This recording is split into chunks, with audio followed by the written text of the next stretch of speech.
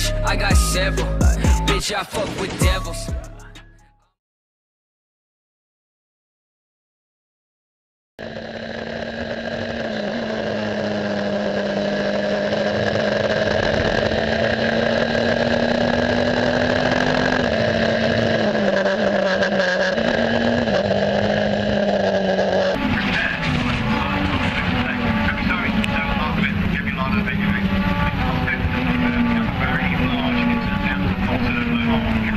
and they come past the new start finish line, which isn't always this big, and an enormous accident at the back.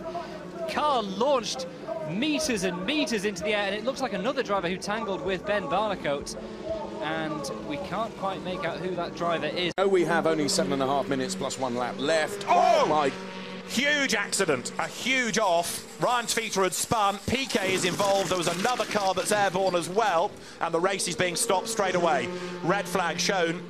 And Ryan Tveter was the catalyst for all of that because he had spun and then out of nowhere, but for a position, is Niko Kari. I'll explain Right. why in a moment. Now, this is Tveter. It was the Verth corner, I was right. He goes through the gravel. He's back on the track. And Peter Li is just unsighted. Straight into the back.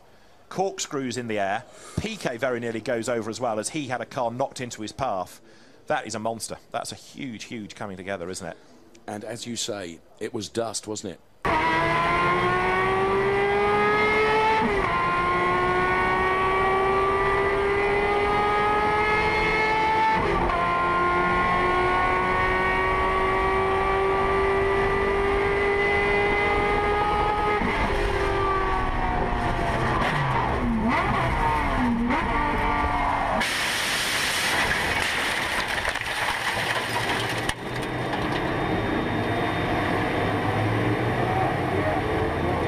Pit stops.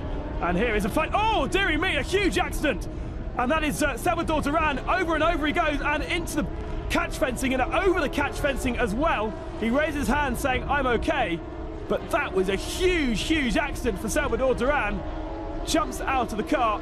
Adrenaline still pumping through his veins. And wow, what a shock at the end of this race. Got a slight limp there where he's probably knocked his knee.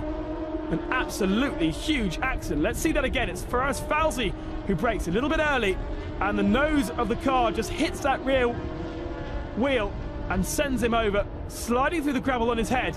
Then it catches, and over he goes. Barrel rolling over the tyre barrier, over the catch fencing, and into the slip road. Marshall's very lucky. Anyone on the slip road very lucky as well.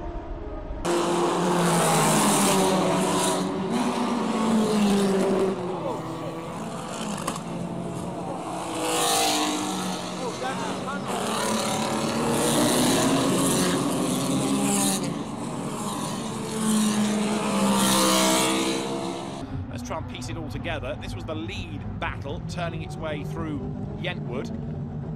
He gets a little bit scrappy in midfield. Lando Norris was one of those locking up. Right, on the outside line is Bortoletto. He turns in and just launches himself over the front of another car, cartwheels his way into the gravel, ends up upside down from another angle. There he is. He's airborne as he comes into shot, and having ridden over the wheels of another car, that just launches him into a very spectacular accident indeed.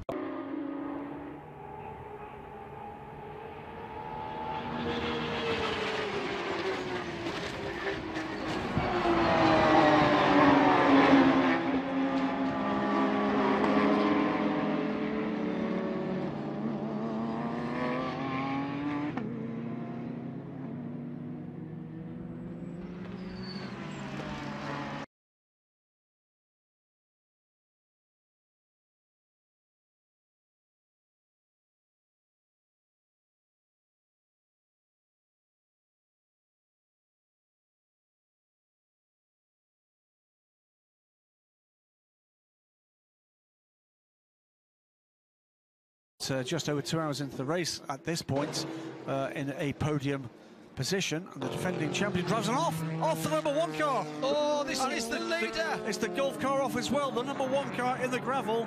Yeah, and that's Mike Wain- Wainwright in that car. Brendan Hartley. And the lead car in the race, the defending world championship, there's damage to the front of the prototype Porsche.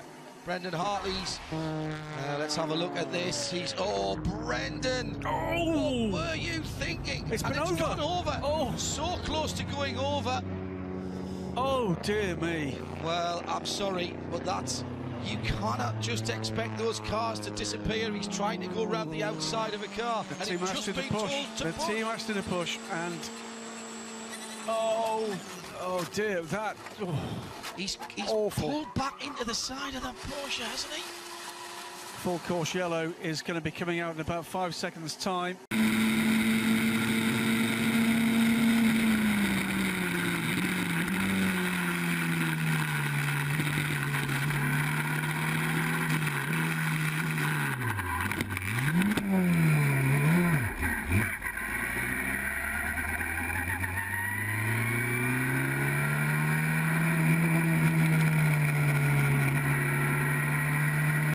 Full course yellow still at Brands Hatch because of this huge accident. Phil Dryburgh in that Aston Martin riding up the back of a slower GT4 car that itself was trying to pass another slower GT4 car.